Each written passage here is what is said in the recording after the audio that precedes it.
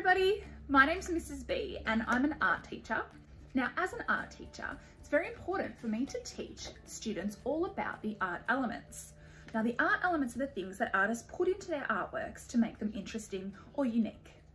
Now there are a lot of different art elements, but today we're gonna have a really close look at the art elements of line, color, texture, and shape. And we're gonna put them together in our very own flower kind of artwork.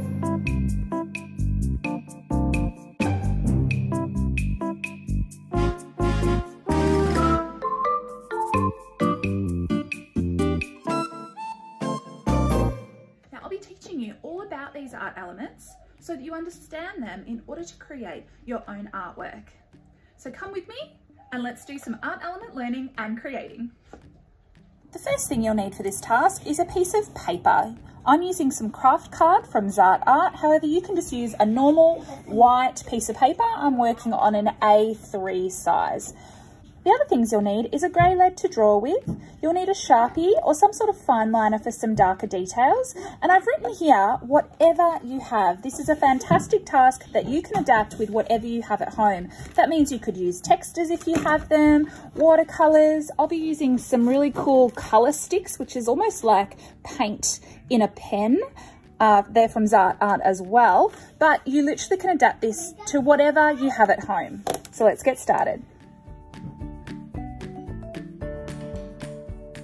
All right, wonderful people. So for today, we are going to create a beautiful artwork based around four art elements. We're gonna chat about the art elements first so we understand them and then put them into a beautiful artwork. So I'm gonna use a piece of Zart Art craft card today.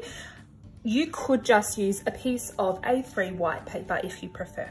So the first thing I'm gonna do is actually fold the paper in half like this, and then in half again, like this.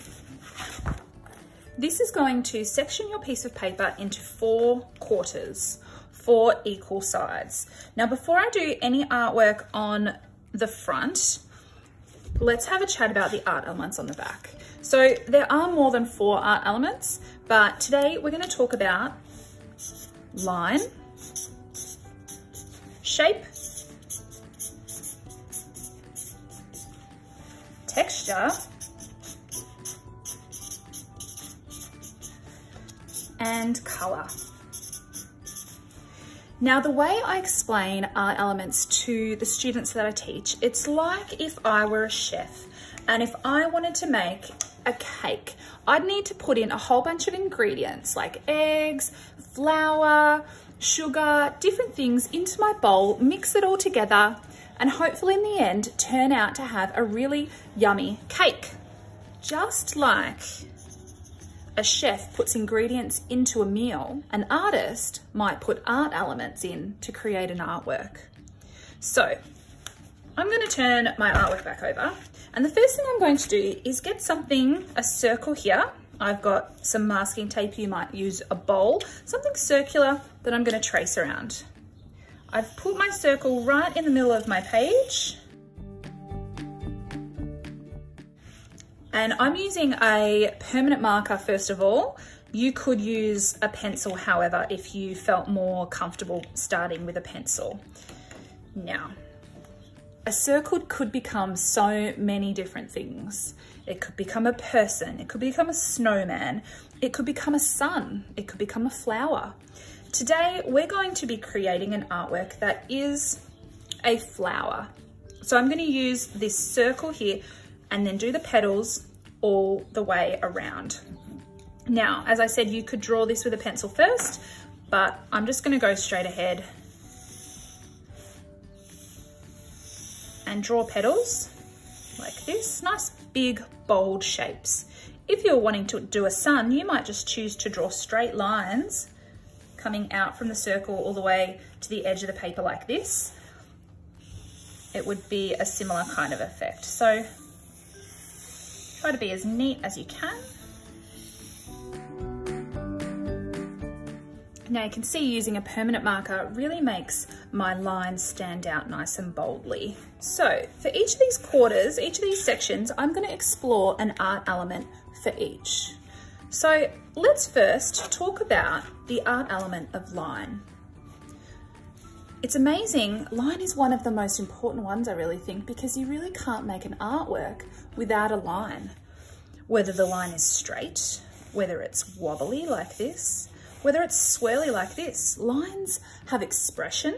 Sometimes they can even have emotion, like I might be angry if I use zigzags. Lines can even join together to create shapes. A shape is just a closed loop line like this. You can use shape in this way, cross-hatching, to create tone or value within an artwork, creating dark areas.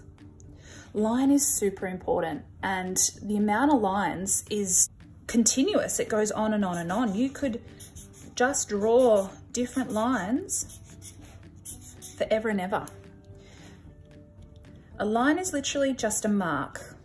And Paul Klee once said that a drawing is just a line taking a walk. So let's have a go at creating a section just here with lots of different lines. Now, as I said, you can do this task using whatever you have at home. So if all you have at home is some colored textas, if all you have at home is a pen, you might choose to just explore within this box here all the different lines that you can think of. So maybe you could even use each of these petals as a way of exploring different types of line. Now this is probably going to be the most time consuming and detailed of the boxes, but it does depend on how much effort you want to show. You can see here I'm doing some different size zigzags with a thin sort of fine liner marker here. And hopefully what you can notice is how changing the lines, for example, if I do some wobbly lines here, it really changes the style of the artwork. Sometimes it changes the type of mood of the artwork as well. So spend some time now creating some detailed, interesting, decorative lines in each of the sections, including a quarter of this circle here. And if you wanna go even further, some lines in the background as well. Maybe if you're in a class today, you can start to come up with a whole bunch of adjectives or descriptive words for the type of lines that you're using. For example, I'm going over these some of these triangles here to create my lines in a more thick or bold way. You can see that they're different to the ones next to it. Now the effort that you put in with this part of the task is really, really important. You know, what you put in is what you get out of this. So if you were just to sort of say, okay, there are some circles, I'm done, and you don't put in the care and time that's necessary, your artwork will reflect that and it might not be something that you're particularly proud of if you're not going in and really taking your time. It's an opportunity to add detail, it's an opportunity to show creativity. You can see I'm doing some really small, neat lines here, lines that are creating shapes. And my messy ones, if, if I've made a mistake, I might take that as an opportunity to try to turn my mistake into a masterpiece. So I might try to pretend or make a way to make it look like that it was meant to be there in the first place. trying to hide my mistake in a way, just like this. So hopefully no one notices it was a mistake. It's a creative thinking kind of challenge. But it does take effort, it does take time, it does take commitment to the task but I think you'll be proud of the outcome if you do.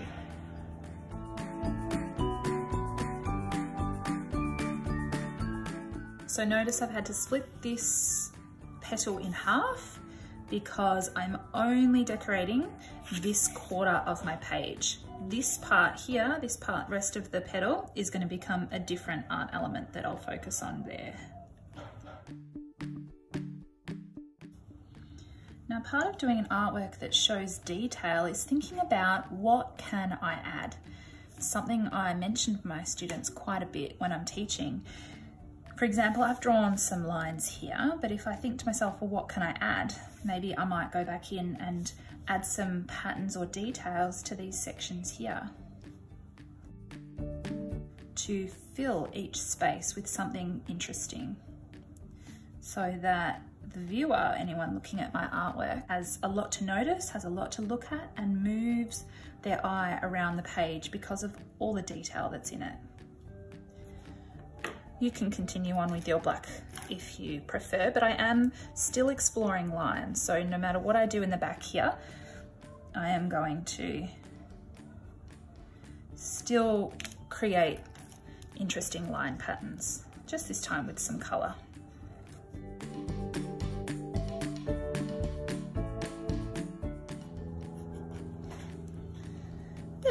I think I'm done with the line section.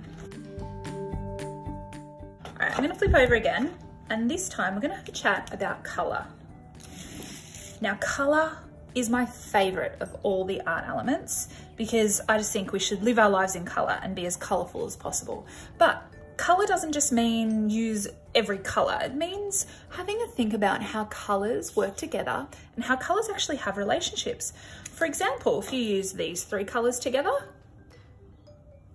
they make us think of things that are warm, like fire and the sun. That's why they're called warm colors. Alternatively, if you use these colors together, they're called cool colors and they make us think of things that are cold, like a forest or an ocean. You could also choose to use the primary colors together.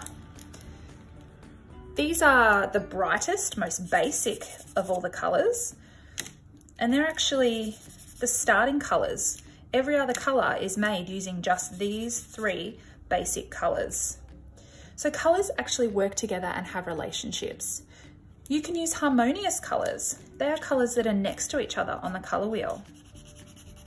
So this is our very basic color wheel with six colors in it. We've got the three primary colors and then the three secondary colors that they mix to when that they make when they mix together. Now, colors that are next to each other, like orange and yellow, for example, they're called harmonious colors. Any colors that are opposite each other on the color wheel, like blue and orange, they're called complementary or contrasting colors. And they're also another color relationship. So maybe after having a chat and having a think about colors and how they work together, you could choose a color relationship for your color portion of your flower. Now, you can use anything that has color. You could continue to use textas if you want to. You could use some watercolors. Today, I'm gonna have a go at using these really cool color sticks from Zart, just to show you what happens and how bright and exciting they are. And the color relationship I'm gonna use today, hmm, I love the primary colors. So I'm just going to use these three colors. And I'm just going to stay within my quarter here You can see how bright and vibrant these color sticks are. They're like drawing with paint. It's almost like drawing with a lipstick. They're so silky smooth.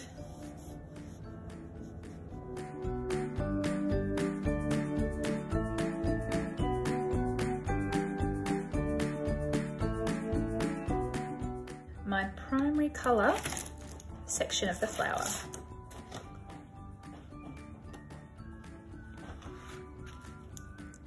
Cool. So let's turn over. And now we're gonna have a chat about shapes. Now, shape seems to be a fairly obvious one. We talked about it before with line. A shape is literally just a closed line that connects together. But there are actually two different types of shapes. The type of shapes that you might think of straight away might be the type that you learn about in maths geometric shapes like squares, triangles, circles, rectangles. They're geometric. But if a shape is just a closed line, that means I could do any type of line, couldn't I? Like this. I'm going to close that line. Now, this wobbly random shape is not a geometric shape. It's not the type of shape that we know. It's called an organic shape. An organic shape is just a shape that might be more so derived from nature, like a leaf, or literally could be just a random line that's closed up like this. So you could either choose to use organic shapes or geometric shapes, or even a bit of both in your shape section. I might have a go at just showing different types of shapes with my thin markers again. And I'm gonna fill my petals with geometric shapes and then I might fill the background with organic shapes. But remember when you're doing shape, you could do shapes inside shapes, do concentric circles, inside circles, inside circles. I might do another one here.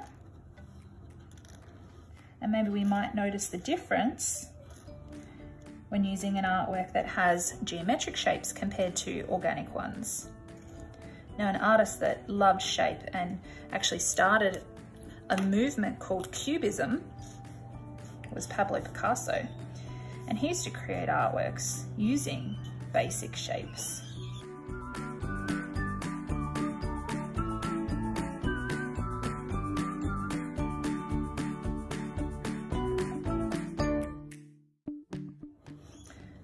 The inside.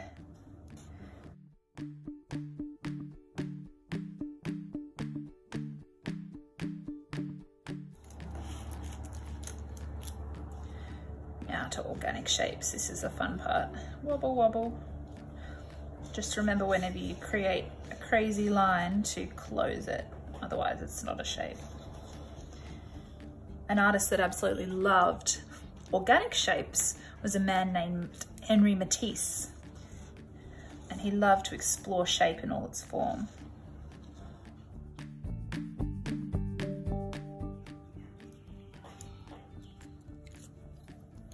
Something I might do just to add a bit of color is I'm just going to use my watercolor paints here to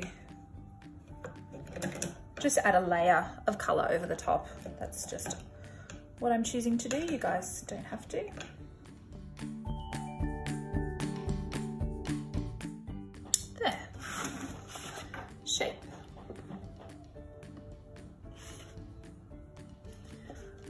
Right, the lucky last thing we need to chat about is texture. Texture simply means how something feels or how something looks like it feels. So an artist that loved to use texture in that, their artwork was a man named Vincent van Gogh. He used to apply paint so thickly that it would actually be bumpy. And if you were to touch it, you would be able to feel a texture. It's called impasto painting. And he was really good at it. Now, I could do that today to show texture, but I'm gonna do something different. I'm gonna do something called implied texture. Implied just means that it looks like it has texture, even though it actually doesn't. We're gonna use lines, maybe like this,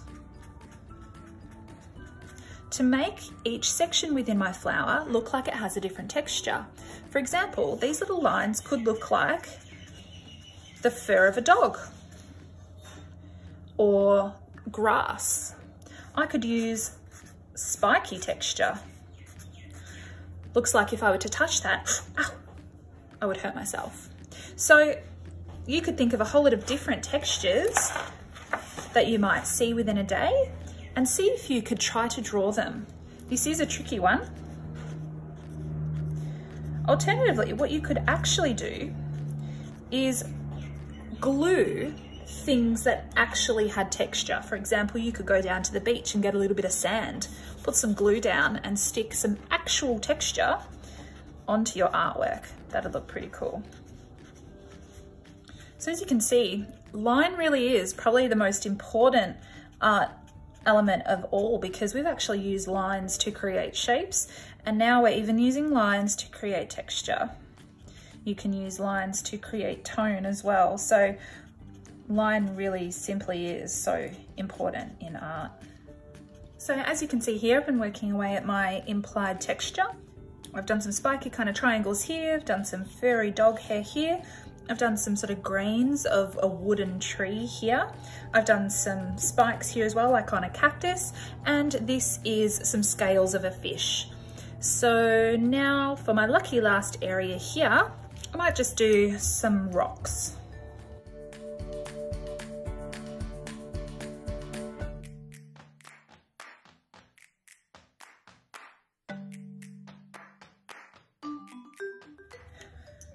So there you have it. An art element, artwork exploration. We've got color, line, shape, and texture.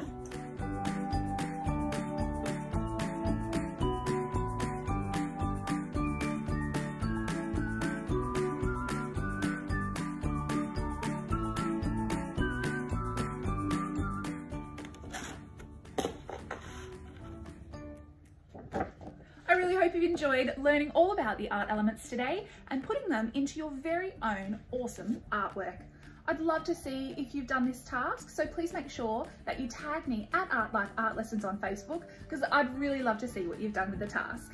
Art teachers, please make sure that you let me know if you've had a go at this task and how it went because I'd love to get some feedback. Hope you have an awesome day and really enjoyed this activity. See you later.